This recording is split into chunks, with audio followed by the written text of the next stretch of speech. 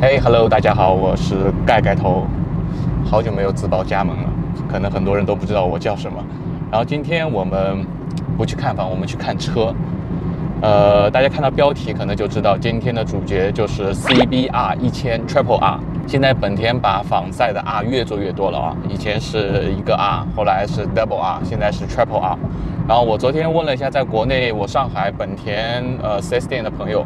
然后国内好像现在 CBR 六百 Double R 跟 CBR 一千 Triple R，国内是没有引进，所以也没有在售。呃，另外今天其实还有一个主角就是 CRF 三百 L。其实我心里一直挺想买一辆滑胎车的。男孩子车库就像女孩子的衣柜一样，永远少一辆车。但是在清迈来说，整个泰国来说。滑胎车好的底子的选择不太多，就像哈斯瓦纳七零幺这种，其实我挺喜欢的，但是好像这边也不是太大众。我看了一下售价也挺贵的，要六十六十六万啊，六十多万泰铢，十几万，我觉得没什么性价比。但 C I F 现在售价 C I F 三百现在的售价也就在十万出头一点。我其实不太喜欢去买新车，但今天为什么要去看新车？待会到 4S 店告诉大家。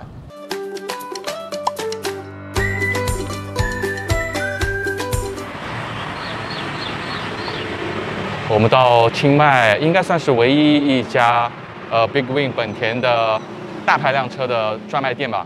啊，我们先进去看一下，很气派啊，不愧是大大厂牌啊。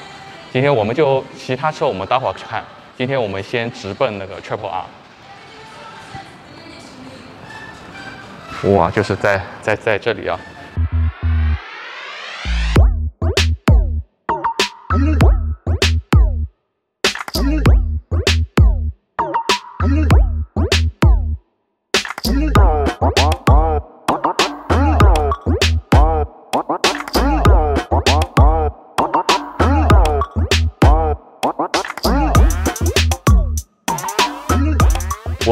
刚才仔细看了一下哦，现在这个 Triple R 这台应该算是 SP 版本的吧？我不算个专业的摩托车测评的博主，但是我觉得就是外观的直观感觉，就感觉这辆车本田给的很到位。大家可以看啊，Ollins 的 Ollins 的电控前后 Ollins，然后上下 Brembo 前后也是 Brembo，这些卡钳，这 Brembo 的卡钳加上 Ollins，我觉得这样加起来就差不多得。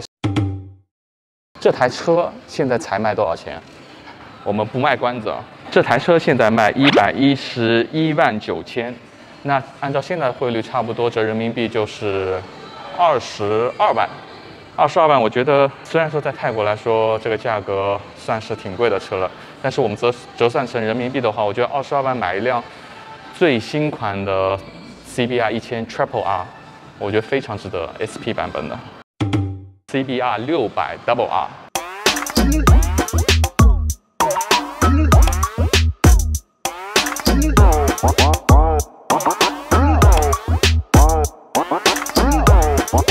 可以看，其实我反而觉得啊，CBR 六百的 Double R 的前脸可能要比 Triple R 还要凶一点。现在摩托 GP 非常流行的小翅膀，所以我感觉六百的前脸可能要比一千的前脸看上去更凶。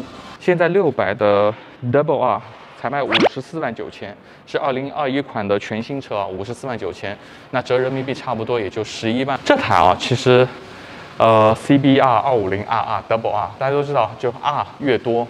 就越靠近赛车嘛，所以 Triple R 为什么卖的那么贵？它基本上已经接近厂车的感觉。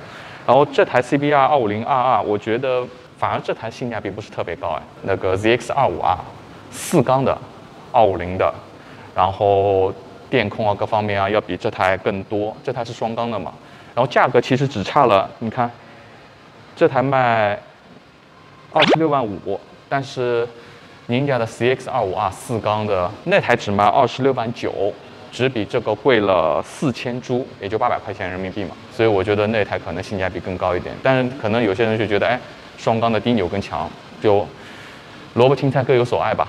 然后本田最舒服的移动的沙发，金翼，金翼可以看价价格，金翼现在是卖一百二十九万起，一百三十万左右吧。折人民币的话，二十二十六万左右。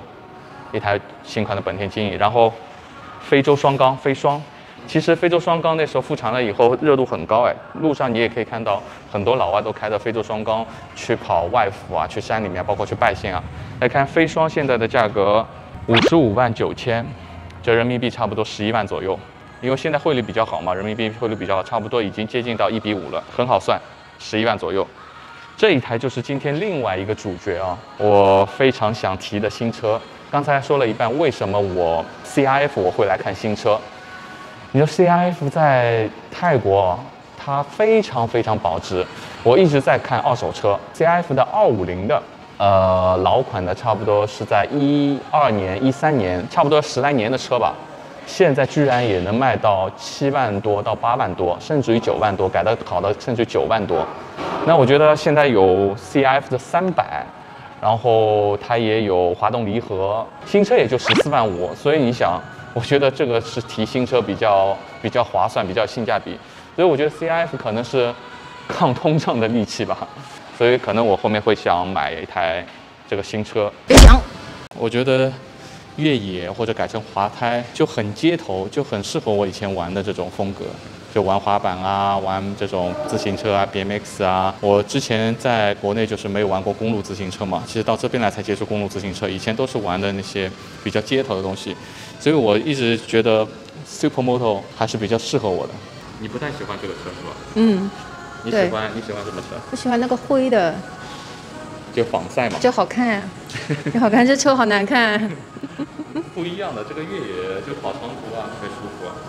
嗯，还是以开的人为准吧，对吧？所以你同意我买了吗？不同意。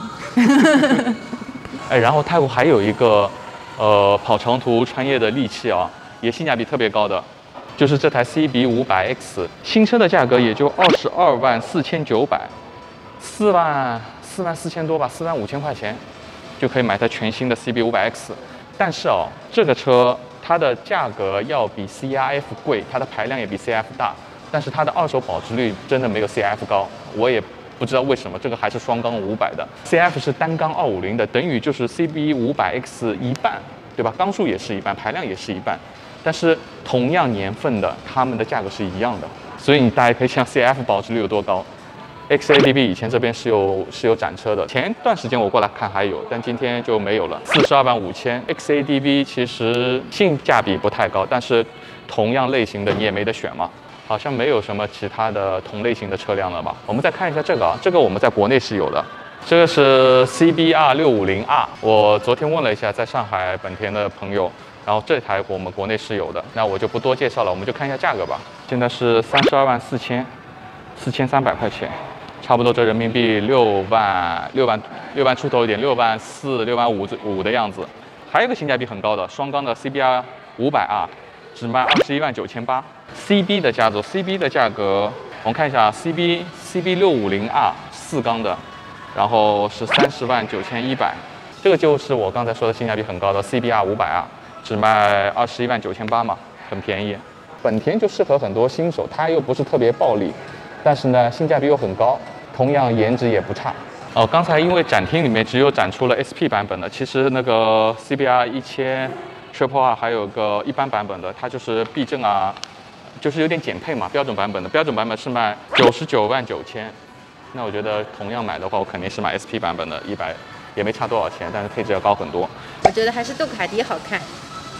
杜卡迪有个很不幸的消息，就是杜卡迪在清迈的专卖店关门了。太好了。这个不用花钱了。哎，其实我真的还挺想去杜杜卡迪的 4S 店看一下，但是我们有机会的话可能会去外服，好像搬到搬到哪里啊？哎呀，我想不起来了。我们哪天有有空可以大家去看一下杜卡迪在泰国的价格。今天我们本来想试驾一下 CRF 啊，呃，我去问一下。哎，我看一下这边的 Rebel Rebel 五百的是卖二十二万两千七百八。然后，另外还有一台一千一的，一千一我刚才问了一下价格，是在六十万左右，六十万左右的巡航。其实我个人不太喜欢这样的，我还是个哈雷控。如果我买巡航的话，我肯定还是买哈雷。然后大家如果还有什么想看的话，哎，我觉得我们现在就变成一个不是看房就是看车的一个频道了。我觉得现在我觉得看车也挺开心的，不光跑。去看看车，哪怕不买吧，也很开心，跟看房一样，也挺赏心悦目的。上面那个哦，上面那台可能是那个 CB 一千，CB 一千二，还挺好看。它跟那个 CB 六五零啊，其实是差不多，就排量大一点，其实也是家族脸，长得都差不多。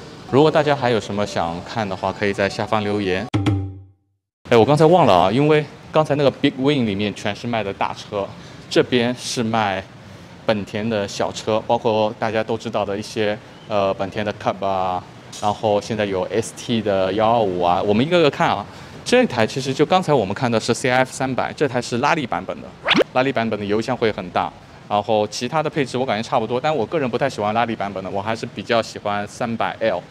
然后还有一个就是热度很高的，就是 Forza 三百。哎，现在好像可能会出到三五零的吧？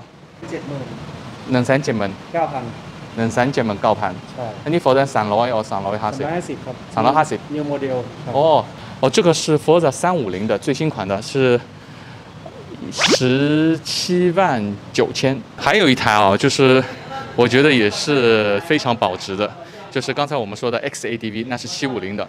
然后这边代步最多的就是这个 ADV 幺五零的，但我看了这价格，好像这个已经涨价了，本来是卖呃九万九千铢的，现在好像这个新车是卖到十万三千，十万三千七百七。所以我说这个车真的非常保值，二手的价格以前卖九万九千铢的时候，呃，差不多二手的价格都在八万多，所以我觉得本田的车保值率特别高啊。这个 MSX 幺二五还出了一个 Scramble 版本啊，这个版本是多少钱啊？卖八万一，八万一千就一万六千多块钱吧。其实这个在在泰国开的人特别多，特别有些送外卖的，而且这个车卧缸机也开不坏嘛。又省油，这个车很多。哎，对啊，就是我本来就是要给 Quentin 买的这个嘛。上次教练也说嘛，就买买一代嘛，买一代啊、呃这个好像保值率不高哎，一代的幺二五差不多便宜的两万多株都有，两三万株对吧？哎，我刚刚说错了，是不不是 ST 幺五，是 CT 幺五，CT 幺五这个车就是我个人不是太喜欢啊，就是这块明显就是送货的，就是。呃，Grab 啊，Food Panda，啊我觉得很适合这个车，但这个车价格也不便宜，这个车卖到八万八，八万八幺二五的卧缸机。同样，这台 CT 幺二五卖的是八万八千九百块钱。如果是这样的话，我可能会选择经典款的 Super Cup，Super Cup 也是幺二五的，它才卖到四万多，四万九，差不多可以抵两辆车了。而且这个又是经典，我特别喜欢这个车。这个车我知道，就是很多老婆们。或者女友们 特别不喜欢这个车，觉得这个车特别土，是不是？就是大多数大多数我看到很多来泰国的很多男生就想买 Super Cup，可能是一个情怀吧。但是很多老朋友说啊，这个太丑了。其实这这个美可能只有男生能够能够欣赏吧。然后我们说最后一辆车吧，这辆车就是本田的 PCX，PCX 现在已经做到幺六零了，本来。呃，之前我有朋友过来买的时候还是幺五零，现在最新款的是幺六零，幺六零的 PCX 卖到九万三千七百七。哎，我看到了这边还有另外一个版本的 PCX，PCX 幺六零，但是大家可以看到它是 HEV，就是油电混合版的 PCX。哎，这个挺有意思啊。刚才那个销售人跟我说，它起步是用电的，所以起步会特别快。我看一下这个，利他来的，能三倒盘哈雷。呃，这个价格是十万九千五百块。刚才我们 PCX 是九万多。哎，如果我觉得如果我买 PCX 的话，我可能会考虑这个，它是双双电瓶，然后油电混合。哎，我觉得有意思啊，这个。如果大家还有什么想看的话，可以在下方留言。下一站我们可能就去川崎店了。在泰国就是口袋不够深啊，真的口袋深的话，一个就是它的牌照不要钱。就是对相对我们在上海来说啊，上海、北京来说的话，如果你要拥有两辆摩托车三辆摩托车的话，你这个牌照就得花不少钱。但是这边就这点好，牌照不用花什么钱，慢慢来吧。我估计我的车库还是不够大。如果大家还没有关注、订阅太太的，按下订阅。然后如果喜欢我们的视频的话，按赞、订阅、转发。我们下期见，拜拜。